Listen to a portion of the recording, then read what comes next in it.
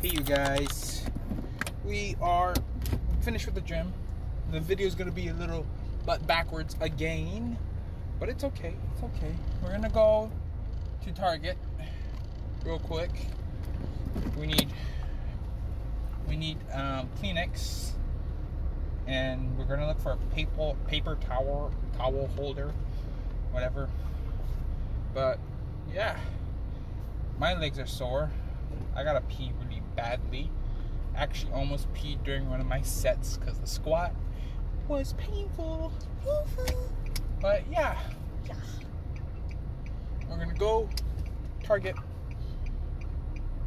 It's gonna be a quick one. I don't know what I'm gonna eat for dinner. Might be tuna and rice again. We'll see.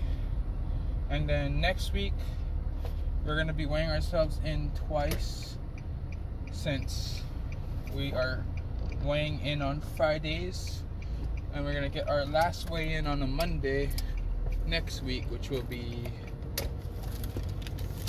what uh, the first of July, and then yeah, when that happens, it's gonna be back in buys on a Monday. On a Monday. But yeah, catch you guys after. We're gonna go to Target. There might be some Target footage. Who knows? We'll find out. Let's see if anything funny happens. But peace.